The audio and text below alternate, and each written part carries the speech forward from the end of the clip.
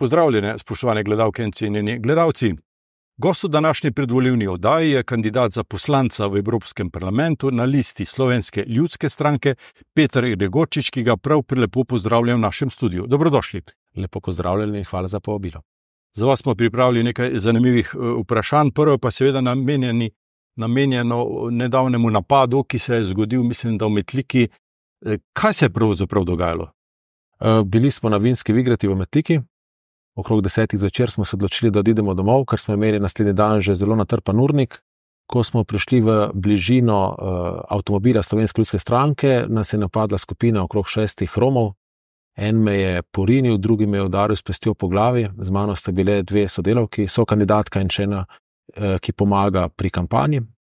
Uh, napad, se pravi, eskalacijo napada sta preprečili, potem smo poklicali policijo, In uh, Nina, so kandidatka, je uh, farmacevtka, tako da mi je pomagala, da se ni razvila modrica in da je bila oteklina minimalna. Tako da sem lahko že naslednje jutro uh, nadaljeval s kampanjo. Bi lahko rekli, da je šlo za politično motiviran napad? Lejte, glede tega se ne moramo opredeljevati. Vem pa, da je problematika Romov izjemno velika in da je naši organi pregona, predvsem policija in tudi država kot taka, sistemsko ne naslavlja ustrezno. Eh, to kaže tudi naslednji dan poročilo policije, ki je pač predstavila napad kot napad uh, pijanega 20-letnika. Um, ne vem, kaj je v zadju, rekel je pa tole. Danes so napadli mene, jutri lahko napadejo koga drugega, tako da mislim, da bi država vendarle morala romsko problematiko malce bolje urejati in tudi za varnost svojih državljank in državljanov bolje skrbeti, zato jo na koncu, koncu tudi imamo.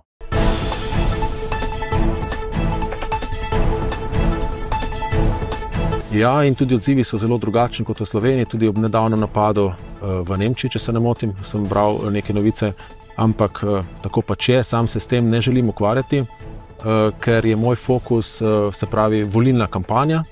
Želimo biti čim več med ljudmi in odpirati vprašanja, ki so pomembna za Evropsko unijo, za našo skupno prihodnost s tem se ukvarjam, torej ne ukvarjam se s temi stvarmi, želim si seveda, seveda varno priti do volilne nedelje, pa vendarle eh, ne želim posvečati temu preveliko, pozor, preveliko pozornosti.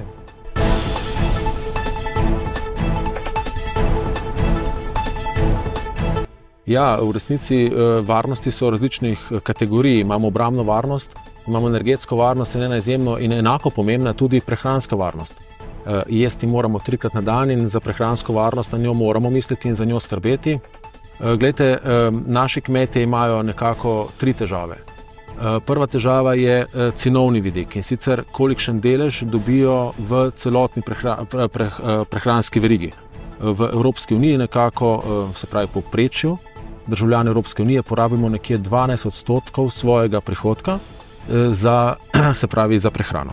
Od tega dobi kmet četrtino, to je okoli 3 odstotke, in menim, da bodo v prihodnosti potrebni ukrepi, da bi bolj pravično znotraj celotne eh, prehrambene industrije razporedili eh, se pravi te prihodke, tako da bi kmet dobil nekje tretjino tega denarja. Drugi vidik je eh, okoljski in birokratski vidik. Evropska unija, zato ker to problematiko očitno urejo birokrati, namesto da bi prisluhnili kmetom, uvaja nerazumne okoljske in birokratske ovire pri čemer potem pridemo do tretje težave in to je nelojalna konkurenca tretjih držav. Eh, Evropska unija dovoljuje uvoz hrane iz tretjih držav, kjer te ovire eh, ne obstajajo, kjer se celo uporablja eh, fitofarmacevtska sredstva, ki so pri nas prepovedana, in se temu resnici izvaja nek cenovni pritisk na, na našega domačega kmeta. Torej, to so tri vidiki, ki jih moramo nujno nasloviti.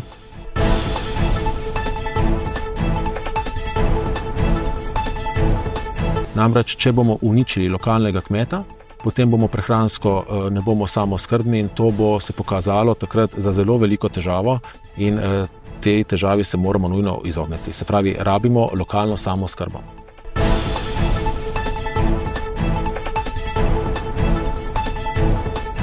Eh, ne pogledajte, se pravi, subvencije so v resnici mehanizem skupne kmetijske politike. Eh, velik del teh subvencij je namenjen tudi temu, da potrošniki ne kupujemo predrage hrane. Zdaj pa seveda tukaj se pojavlja velika težava ne? in sicer eh, veliki kmetje, eh, namreč potrebno je nekoliko poznati zgodovino. V začetku, ko je bila Evropa lačna, je šla ta skupna kmetijska politika v smeri, da se je subvencioniralo po litru in kilogramu pridelanega pridelka.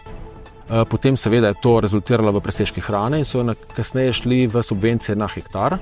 Zdaj pač v tem primeru je težava izjemno velikih kmetij, ki potem poberajo večino teh subvencij in ne ostane dovolj za manjše kmetije, predvsem v Sloveniji. Slovenija temelji na družinskih kmetijah in za te kmetije se moramo še posebej truditi.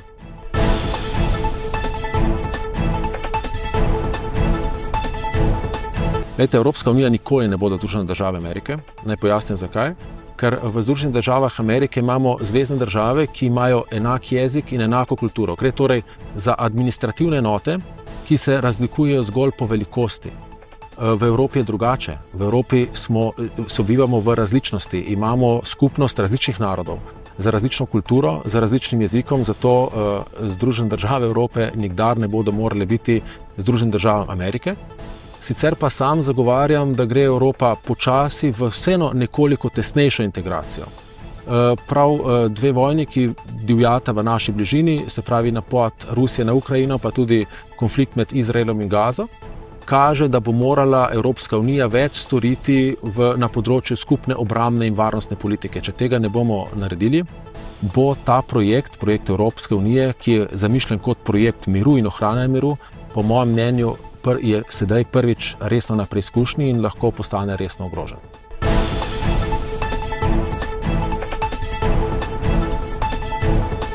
E, mislim, da v tej smeri bomo nujno morali iti.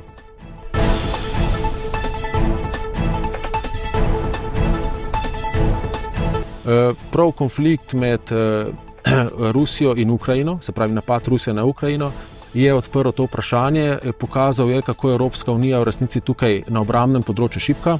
Namreč, kaj se je zgodilo? Eh, eh, Evropska unija je naredila nekje štiri napake v svoji preteklosti. In sicer eh, prva je ta, da smo svojo varnost prepustili Združenim državam Amerike, svojo proizvodnjo smo prepustili Kitajski, svojo skrbo z energenti Rusiji in, kot sem že omenil, svojega kmeta nemilosti zelenega prehoda.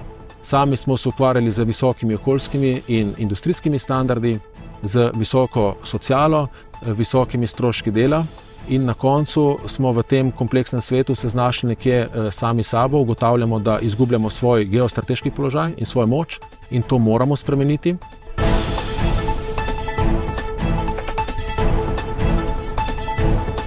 Eh, to ne pomeni, da moramo izstopiti iz NATO, vendar menim, da moramo oblikovati nekako skupno obrambno unijo, eh, ki bo dopolnjevala nacionalne vojske in to, kot sem že rekel, ne izključuje našega članstva v NATO, ampak ga dopolnjuje.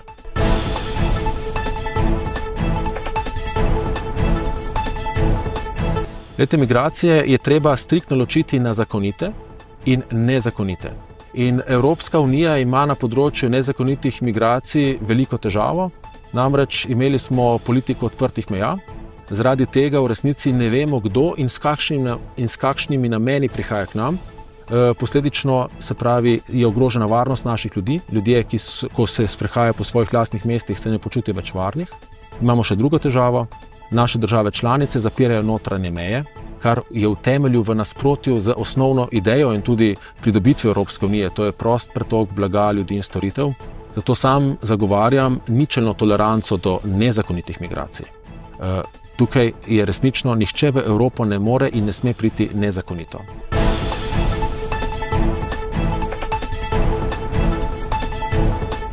Drugo vprašanje pa so potem zakonite migracije, eh, ima, ki so povezane tudi z našo vse manjšo rodnostjo.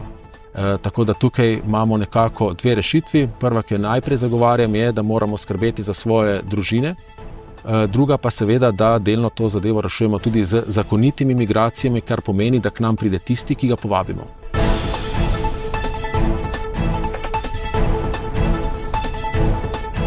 Namreč projekcije kažejo, da eh, v kolikor ne bi imeli zakonitih migracij, bi v roku 25 let bo v Sloveniji četr, kar četrtino manj delovno aktivnega prebivalstva.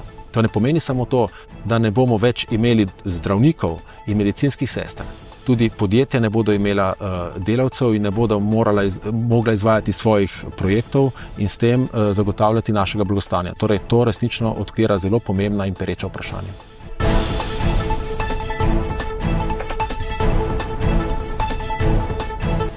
To, to je zagotovo en, en, en, eno, ena od rešitev, ena od pomembnih problematik, ni pa edina. Ne? Mi moramo tudi olajšati usklajevanje družinskega življenja z službenim življenjem, to je drugi vidik.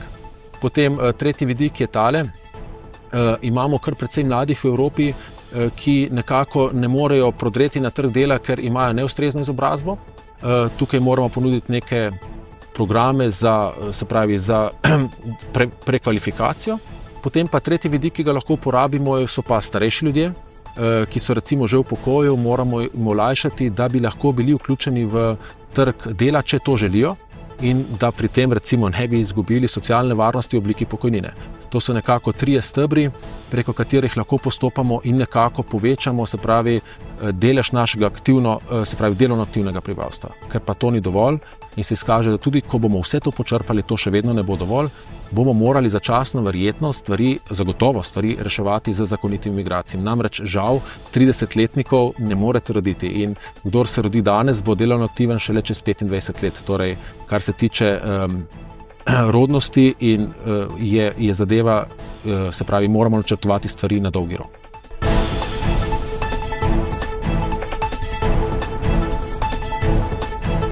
Glede, Evropska unija je pravilno identificirala, da je skrb za okolje ena od zelo pomembnih stvari, eh, s katerimi se človeštvo mora ukvarjati. Pa vendarle se mi zdi, da smo bili tukaj nekoliko bolj papeški od papeža. In namesto da bi okolje reševali skupaj s tem, da bi tudi ostale vele sile, Kitajsko, Združene države Amerike, prisilili, da to igro igrajo skupaj z nami, smo sami sebe začeli spotikati. Menim, da na tem področju potrebujemo bistveno več inovacij, Eh, in eh, s tem nimam nobene težave. Težave imam s tem, da je Evropa začela to urejati tako, da je uvajala prepovedi. Naprimer, ena takih norosti je prepoved prodaje novih avtomobilov na benzin in dizel leta 2035. Eh, sam menim, da prepovedi niso potrebne. Namreč mi, če vlagamo v inovacije, ko bodo inovacije dovolj dozorele, bodo same izpodrinile stare tehnologije.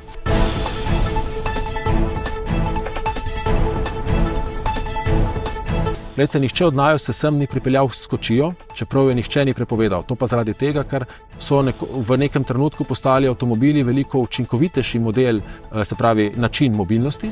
In pač človek vedno uporablja tisto, kar je, mora biti pa to cenovno dostopno in učinkovito. Če ste prej omenili mlade in stanovanja, naj ponudim še primer. Če bomo prepovedali avtomobile na benzin ali dizel, danes mladi težko pridejo do stanovanja, potem bodo celo prikrajšani za mobilnost, saj vemo, da električni avtomobili stanejo zelo veliko denarja. Kako si bo nek mlad potem lahko privoščil in torej to vodi v še dodatno deprivilegiranost naših mladih. Tega ne smemo dopustiti.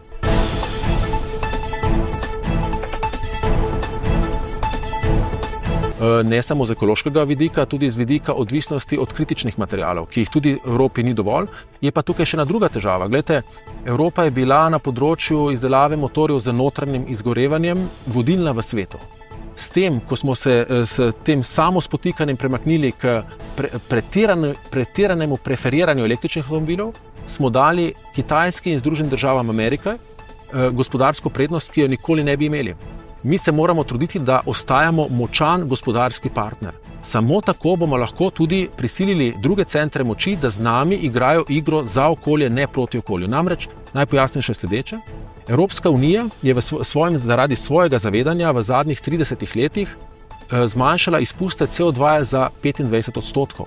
Globalni izpusti pa so se povečali za 35 odstotkov. Torej, to pomeni, da mi na ta način okolje ne bomo rešili. Namreč v Evropi eh, pridelamo nekje 7 do 8 odstotkov izpustov CO2. Ne?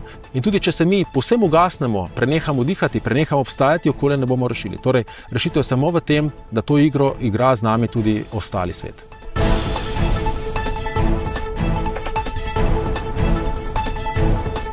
Eh, sam pozdravljam direktivo o minimalni plači, pri čemer naj pojasnim, da direktiva pomeni postavljanje ciljev Eh, sam menim, da povsem enotnost nikoli ni na mestu.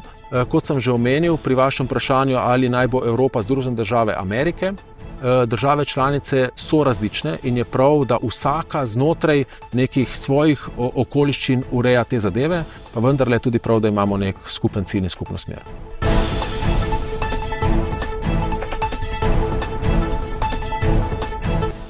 Da, da niso dovolj glasni.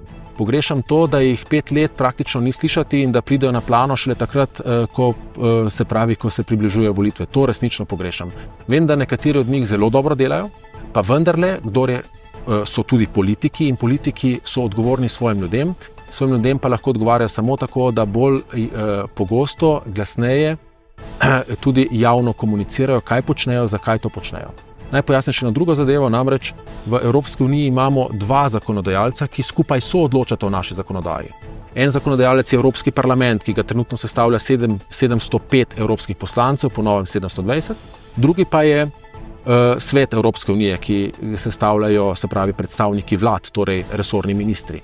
In če bi evropski poslanci v Sloveniji bili glasnejši, bi lahko tudi našo vlado kdaj prisilili, da uporabi svoje vzvode v uh, svetu Evropske unije za to, da dela v dobrobit uh, Slovenije. Uh, k temu se sam zavezujem in obljubim, da ne bom tiho, da bom glasen, tako kot sem bil do sedaj.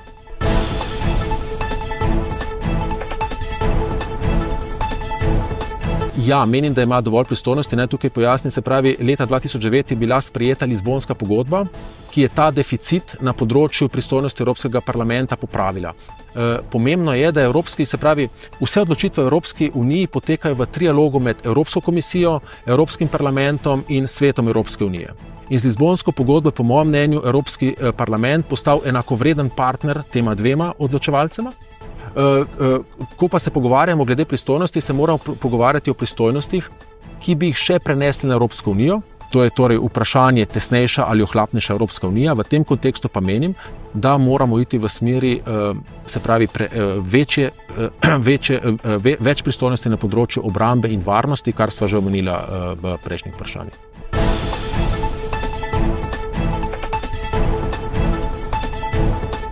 Vsak posameznik lahko izjemno veliko naredi, štejejo samo, kako tvoj angažma, koliko si pripravljen trdo delati, kako široko socialno mrežo si ustvariš eh, in koliko si glasen. In prepričan sem, da vsak od evropskih poslancev lahko naredi izjemno veliko za Slovenijo in sam se bom trudil v tej smeri.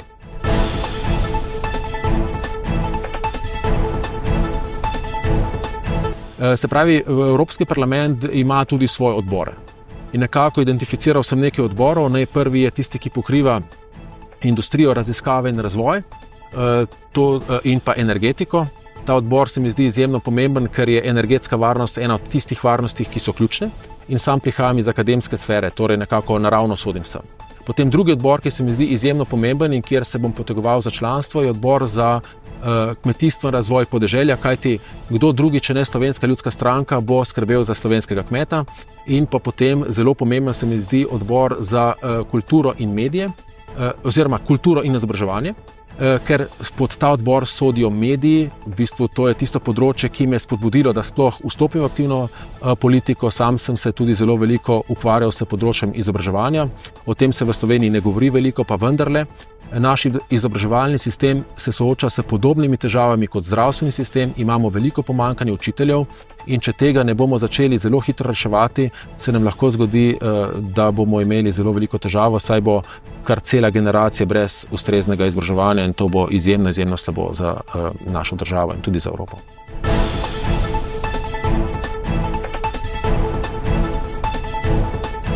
Eh, dostopa v politiko prišlo zaradi mojega razočaranja nad Evropo dvojnih meril. Namreč, ko, smo, ko so nas z zakonskimi spremembami odstranili, vodstvo odstranili iz javne radio televizije, eh, kar je bilo povsem enako, kot je storil Orban recimo na Mačarskem ali kar se je zgodilo eh, z, na Polskem, ne, smo se pritožili tudi na Evropsko komisijo. Zanimivo, Evropska komisija je znala ta dejanja neliberalnih režimov na Polskem in Mačarskem obsoditi slovensko vlado pa verjetno zgolj zato, ker je politično blizu, pa je celo pohvalila. Takrat sem nekako prišel do spoznanja, da če želim te, ta dvojna merila, se pravi, da bi dosegli eh, spoštovanje pravne države spremeniti, da moram stopiti v aktivno politiko. Zdaj eh, sam verjamem v strankarsko demokracijo. Menim, da posameznik ne more veliko narediti na področju politike, potrebujete stranko z, veli, z razvejano lokalno mrežo. Namreč samo tako lahko delate v dobro celotne države. Eh, in ni skrivnost, nikoli nisem skrival, da sem desno-sredinsko usmerjen, taki so moji svetovni nazori, torej nekje obstajajo tri politične stranke v slovenskem prostoru. Izbral sem slovensko ljudsko stranko zaradi nekako večjih razlogov. Prvi je ta, da je to stranka, ki je naredila generacijski prelom. Tudi njen predsednik Marko Balažic je prišel iz civilne sfere, kot prihajam tudi sam. Drugi razlog je ta, da je to stranka, ki je že dolgo izven parlamenta in se je zaradi tega tudi notranje prečistila. E, menim, da je to stranko vredno revitalizirati in da jo moramo vrniti v Evropski parlament, potem bo v Sloveniji veliko stvari e, mnogo boljših. Tako da to sta dva glavna, glavna razloga, da sem se odločil za slovensko ljudsko stranko.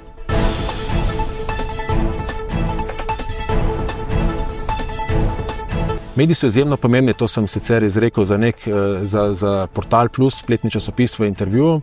Izjemno pomembni so zaradi tega, ker gledajte, eh, kaj se dogaja v našem življenju iz prve roke, vemo samo za tisto, kar sami počnemo, kdaj vstanemo, kdaj gremo v službo, kaj počnemo v službi.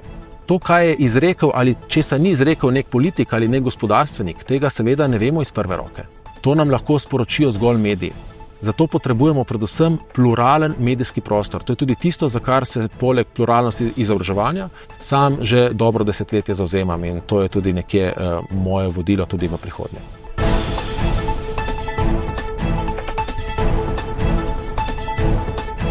Uh, ne.